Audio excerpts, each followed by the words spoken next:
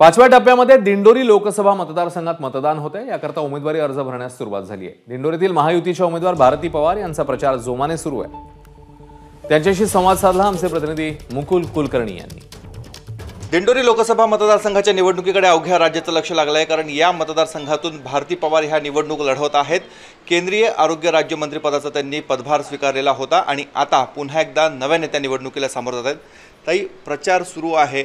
काय प्रतिसाद मिळतो आहे नक्कीच प्रचार सुरू आहे गावागावात पोचतो आहे एक आनंद हाही आहे की जेव्हा आम्ही जनतेत जाऊन विचारतो आहे की इथे केंद्र सरकारच्या राज्याच्या योजना आल्यात का तर खूप चांगला प्रतिसाद मिळतो आहे अशा खूप गोष्टी आहेत की जनतेने एका विश्वासाने सांगितलं आणि जनता पाठीशी आहे हे वेळोवेळी जाणवतं आहे पण प्रचारादरम्यान काही ठिकाणी रोषाला सामोरं जावं लागतं आपल्याला. कांद्याचा प्रश्न असेल काही मूलभूत विकास कामांचा प्रश्न असेल.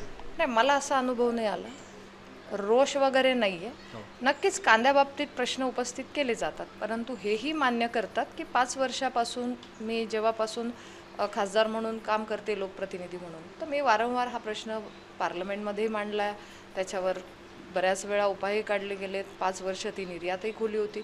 आणि जर भाव कमी होते जरी निर्यात खुली असताना पण भाव उतरले तेव्हा पण मग कांद्याचं अनुदान देण्याचा विषय असेल तेव्हाही मुख्यमंत्री देवेंद्रजी असताना त्यांनी अनुदान दिलं. आत्ताही मुख्यमंत्री शिंदे साहेबांनी दिलं. गारपीट नुकसान झालं असेल तर त्यासाठी सुद्धा कांद्या पिकाला मदत दिली आहे. भाव उतरले तेव्हा नाफेडसारखी एजन्सी आणून त्या माध्यमातून कांदा भाव स्थिर करण्याचे प्रयत्न झाले. मला असं वाटतं की हे पहिलं सरकार असं आहे की ज्या माध्यमातून कांदा विषयावर सगळ्यात जास्त काम झालं आहे हे शेतकऱ्यांना मान्य आहे. आत्ताही काही देशांसाठी निर्यात खुली झालेली आहे आणि आम्ही सातत्याने मी स्वतःच मागणी करते.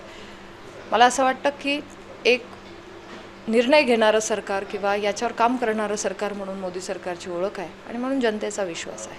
कॅमेरामन किरण कटारेसह मुकुल कुलकर्णी एबीपी माझा नाशिक. एबीपी माझा उघडा डोळे बघा नीट.